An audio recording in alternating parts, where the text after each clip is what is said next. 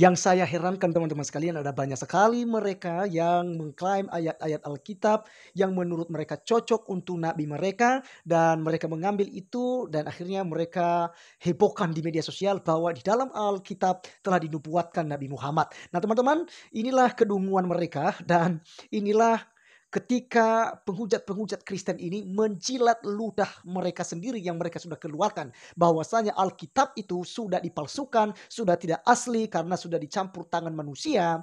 Tetapi ketika mereka menemukan ayat-ayat yang mendukung Nabi Muhammad, mereka kutip dan mereka bahas di konten-konten mereka.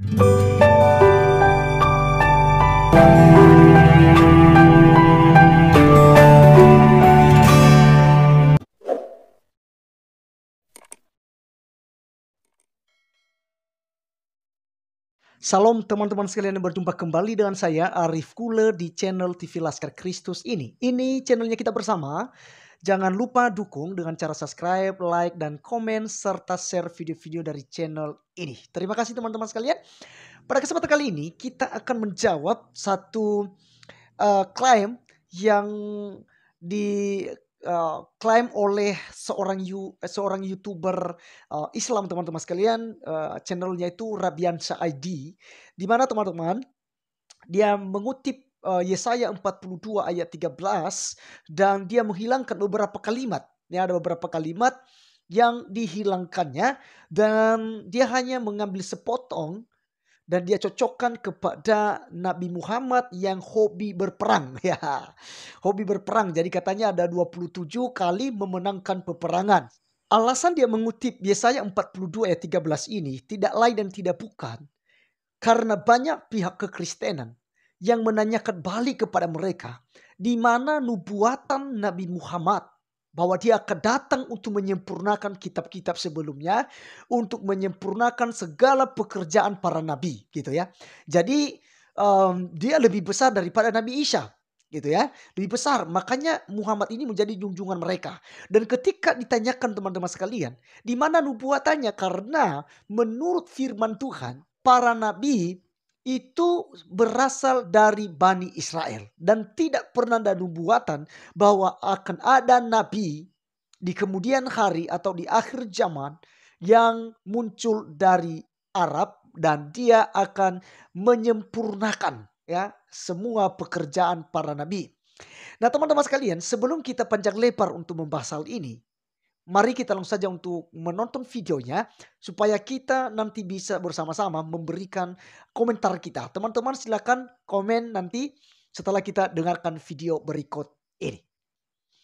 Juga menginformasikan bahwa sosok yang diutus ini merupakan seorang warrior atau seorang pejuang dalam sebuah peperangan.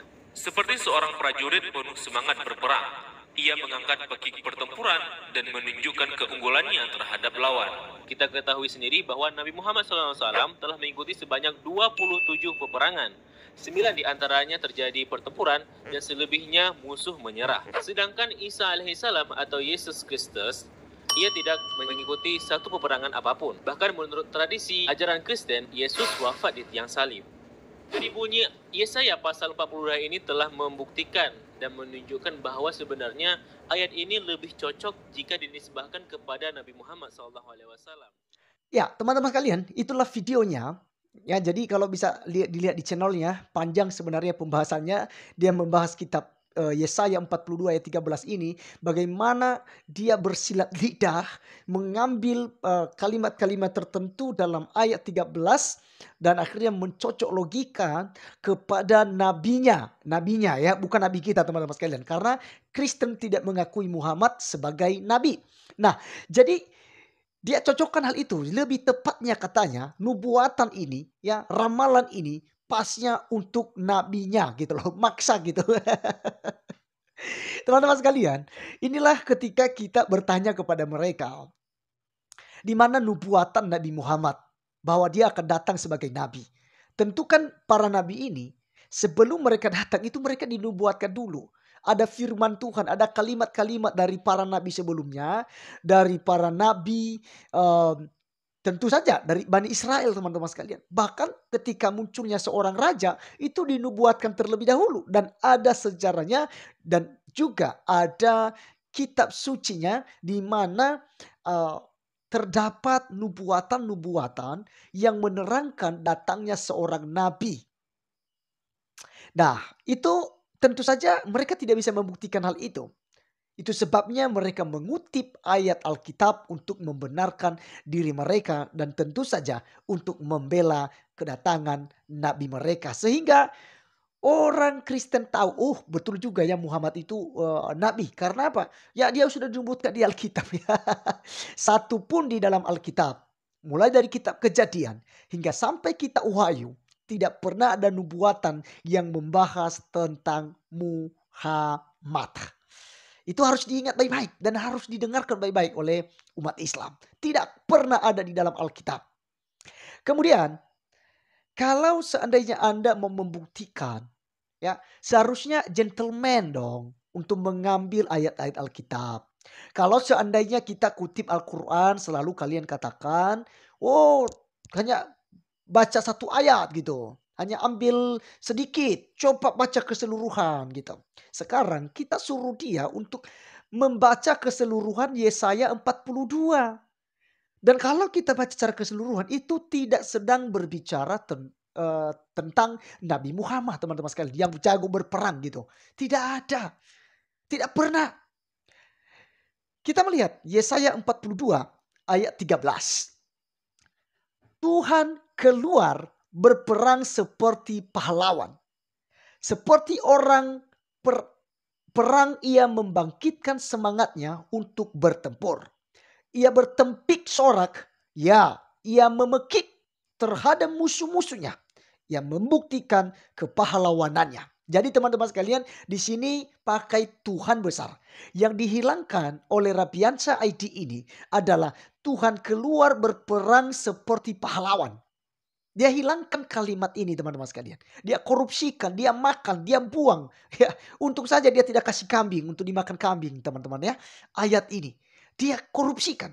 Padahal ayat ini dikatakan di kalimat sebelumnya Tuhan keluar berperang seperti pahlawan. Tetapi yang diambilnya adalah seperti orang berperang seperti orang perang, ia membangkitkan semangatnya untuk bertempur. Ia bertempisora, ya, ia memekik terhadap musuh-musuhnya. Ia membuktikan kepahlawanannya.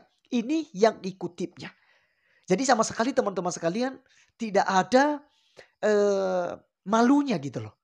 Tidak ada malunya mengutip Alkitab yang sering kali dikatakan sudah dipalsukan. Itu karangan manusia. Itu bukan kitab suci. Oh itu Alkitab itu uh, palsu gitu. Karangan-karangan Paulus katanya. Tetapi masih berani mengutip ayat ya, kitab Yesaya pasal 42 ayat 13 ini teman-teman sekalian. Jadi perhatikan sekali lagi bisa cek di Alkitab saudara. Di situ dikatakan Tuhan keluar berperang seperti pahlawan. Seperti orang berperang ia membangkitkan semangatnya untuk bertempur. Tetapi dia hanya mengambil seperti orang berperang ia membangkitkan kesemangatnya dan seterusnya. Sementara kalimat Tuhan keluar berperang seperti pahlawan dia makan, dia korupsikan, dia jual ke mana teman-teman sekalian. Dia mungkin hilangkan itu supaya memang seakan-akan ayat itu itu pas untuk Muhammad gitu ya. Nah malu. ya memang ini memang mereka itu suka klaim teman-teman ya. Mereka uh, ya kayak itu bilang Ibrahim itu Islam, Musa Islam, uh, Sulaiman Islam, Ibrahim Islam, semua para nabi Islam gitu. Bahkan diklaim Yesus Kristus saja, Tuhan Yesus itu diklaim mereka itu juga Islam. Oke, okay, Yesaya 42 ayat 13 ini sebenarnya ditunjukkan kepada siapa teman-teman sekalian? Nah, sebagai jawaban kita supaya juga umat muslim tahu. Ayat ini berbicara tentang nubuatan kedatangan daripada Tuhan Yesus Kristus. Di mana kita bisa melihat hal ini? Kita bisa melihat di pasal 42 ayatnya yang pertama atau ayat ke-1. Firman Tuhan katakan begini di ayat yang pertama. Lih, uh, judulnya hamba Tuhan teman-teman sekalian ya. Lihat itu hambaku yang kupegang. Orang pilihanku yang kepadanya aku berkenan. Aku telah menaruh rohku ke atasnya supaya menyatakan hukum kepada bangsa-bangsa. Ya, Yesaya 42 ayat 1 ini digenapi ketika Tuhan Yesus ya uh, dibaptis dan terdengar suara dari sorga yang berkata inilah anakku yang kukasihi kepadanya lah aku berkenan. Kita melihat di dalam Matius 3 ayat 17. Firman Tuhan katakan, lalu terdengarlah suara dari sorga yang mengatakan, inilah anakku yang kukasihi, kepadanya lah aku berkenan. Ya, jadi di sini sangat jelas kepada kita bahwa Yesaya 42 ini mulai dari ayat 1 hingga ayatnya yang ke-25 ya, itu berbicara tentang Tuhan Yesus Kristus. Ini nubuatan tentang kedatangannya.